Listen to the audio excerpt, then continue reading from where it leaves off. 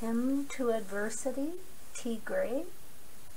With adversity comes strength. The hymn is that it not be too harsh. The speaker is willing to learn a good lesson, but hopes not to be broken by it.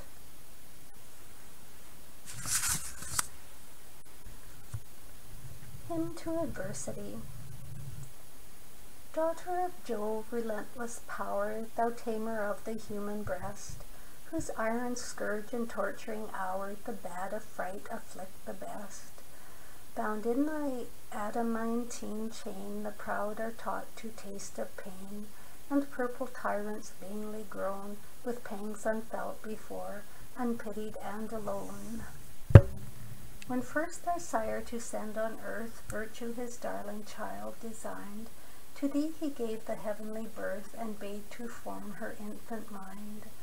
Stern, rugged nurse, thy rigid lore with patience many a year she bore. What sorrow was thou bad'st her know, and from her own she learned to melt at others' woe.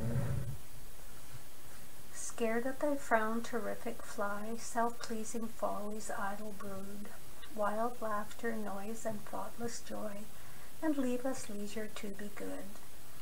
Light they disperse, and with them go the summer friend, the flattering foe.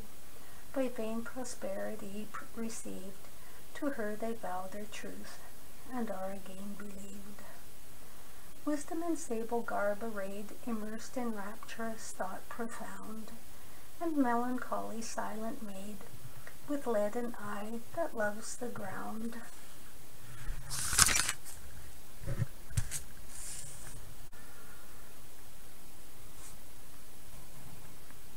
Still on thy solemn steps attend Warm charity, the general friend, With justice to herself severe, And pity dropping soft the sadly pleasing tear.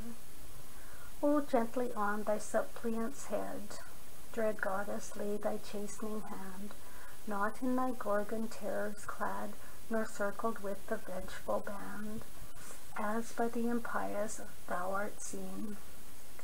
With thundering voice and threatening mien, with screaming horror's funeral cry, despair, and fell disease, and ghastly poverty.